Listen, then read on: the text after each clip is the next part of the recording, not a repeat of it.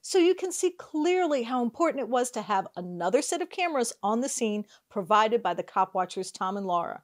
Without them there to continue filming on behalf of the motorists, the full truth of how their rights were violated might have never been known. Just watch.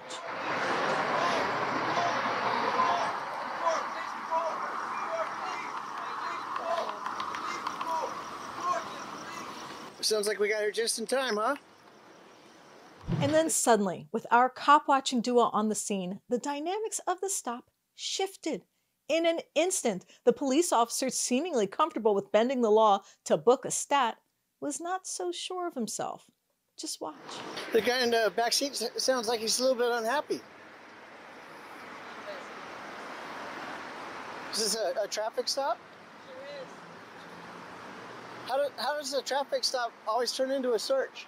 I don't like putting other people's businesses out there. I think that if you want to ask him anything, you could ask him after the traffic stop.